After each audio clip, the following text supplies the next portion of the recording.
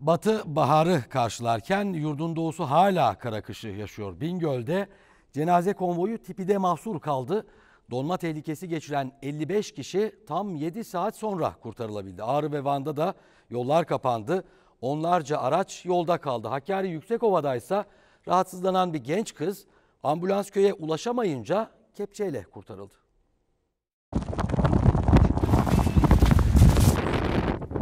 Mahsur kalmışız. Batıda bahar kapıyı çaldı ama doğuda kara kış sürüyor. Bingöl'de kar ve tipi hayatı felç etti. Birçok köy yolu ulaşıma kapandı. Cenazeye gidenlerin bulunduğu konvoy yolda kaldı. Bunun bir tipi var görüş sıfırdır.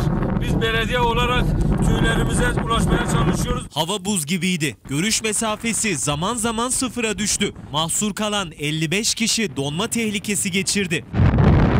Ve yardıma belediye ekipleri yetişti. 55 kişi tam 7 saat sonra kurtarılabildi. Mahsur kalmışız.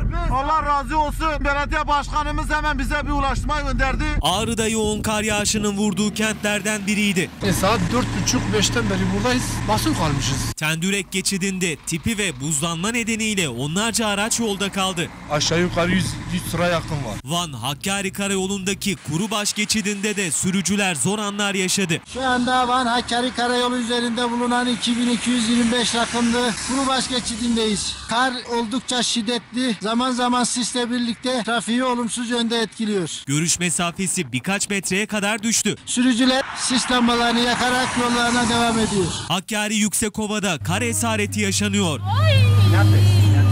Kandilli köyünde rahatsızlanan Seher Şahin için ekipler seferber oldu ve ambulans ilerleyemeyince devreye iş makinesi girdi.